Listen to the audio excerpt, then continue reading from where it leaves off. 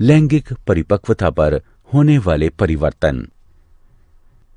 लड़के और लड़कियों दोनों के शरीर के कुछ भागों, जैसे कि कांख एवं जांघों के मध्य जननांग क्षेत्र में बाल गुच्छे निकल आते हैं तथा उनका रंग भी गहरा हो जाता है।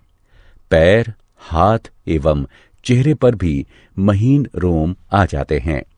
त्वचा अक्सर तैलीय हो जाती है तथा कभी कभी वहाँ से भी निकल आते हैं। लड़कियों में अंडाशय से रजोधर्म प्रारंभ हो जाता है।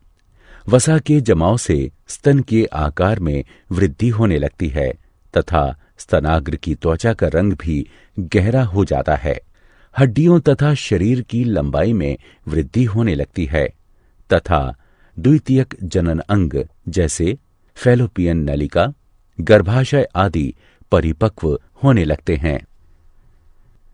सभी लड़कों में वृषण की शुक्रजनक नलिकाओं की जनन ग्रंथियों से शुक्राणु निकलने लगते हैं। द्वितीयक जनन अंग जैसे प्रस्थ, प्रोस्टेट ग्रंथि तथा शिश्न परिपक्व हो जाते हैं।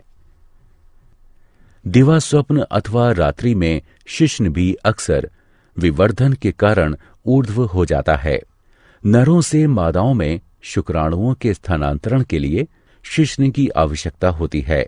कंधे चौड़े होना, आवाज़ में भारीपन आना लंबाई का बढ़ना इत्यादि भी इसके अंतर्गत सम्मिलित है।